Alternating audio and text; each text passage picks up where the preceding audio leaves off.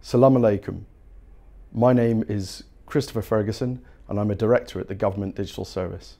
I'm very sorry I can't be with you at the Digital Economy Conference this year. It's going to be a fantastic event uh, and I will miss many of the conversations that I would have had.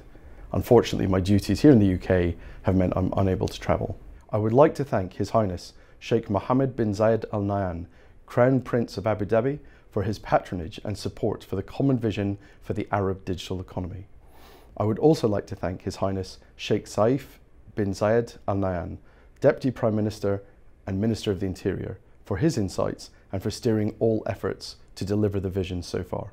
With your permission, I'd like to share a few thoughts on the digital strategy and its importance for the future of the region. There is no question that we're at the foothills of a new journey for the Arab League of States. There are lots of things that could get in the way or prevent progress, and one of them is going to be how success is measured and how the strategy is going to be implemented across the states.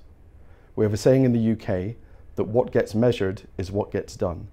So it's very important to choose your metrics carefully. And if I was there with you now, I'd be hoping to discuss this with some of the many digital experts attending the conference. Another challenge is the sequencing of events that need to take place now that the vision has been realised. Across such a large geographic territory and a variety of governments, choosing where to begin is almost as important as choosing how to begin.